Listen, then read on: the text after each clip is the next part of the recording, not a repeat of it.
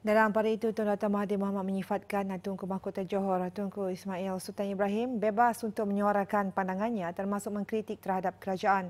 Bagaimanapun Dr. Mahathir menegaskan tindakan boleh diambil sekiranya ada kenyataan yang dibuat melanggar undang-undang. Ya, dia boleh bercakap dengan apa juga seperti orang lain, orang biasa.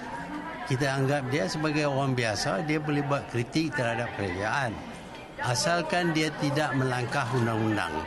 Kalau dia membuat kenyataan yang dianggap uh, apa nama uh, di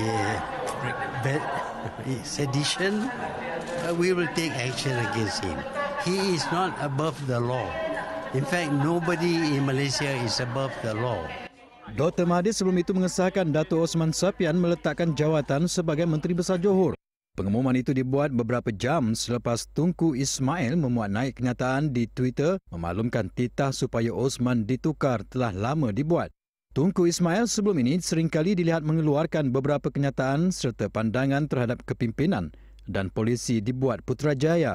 Ditanya sama ada Tunku Ismail perlu menyertai politik selepas seringkali mengeluarkan kenyataan bertentangan Putrajaya, jawab Dr. Mahathir.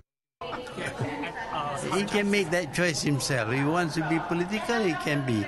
But there is nothing to prevent any citizen of Malaysia from expressing his uh, opinion.